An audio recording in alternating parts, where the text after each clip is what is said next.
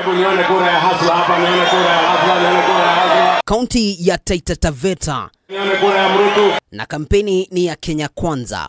Mgombea urais William Ruto aliongoza mkutano katika maeneo ya Uundanyi, Kajire, Sagala, Taveta na Voi. Ati kuna watu wachache wameketi kule Nairobi, ati wanataka kutupanga na ule mzee wa kitendawili.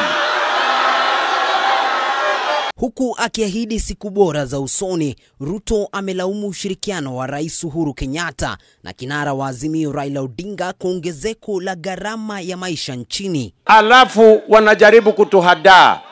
Wale waliharibu mpango ya Big Four, wakaharibu mpango ya food security, ndio wakatuletea hii njaa yote, ati wanataka tuwapigie kura waendelee na yale wamekuwa wakiendelea nayo. Ruto amewahimiza wakazi wa Taita Taveta kumpigia kura kulingana na rekodi ya utendakazi wake katika kaunti hiyo wakati wa utawala wake kama naibu rais.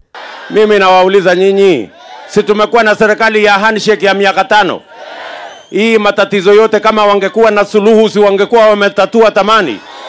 Kundi lingine lililoongozwa na kinara Musalia Mudavadi limekuwa katika kaunti ya Lamu kupigia debe muungano wa Kenya Kwanza. So hawa watu waende nyumbani ama mnataka wangojee? Waende nyumbani ama wangojee?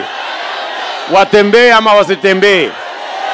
Na katika kaunti ya Nakuru, mgombea mwenza wa Ruto Rigathi Gachagua aliendelea kunadi Kenya Kwanza kwa siku ya tatu mfululizo. David Kagina, K24 Wikendi.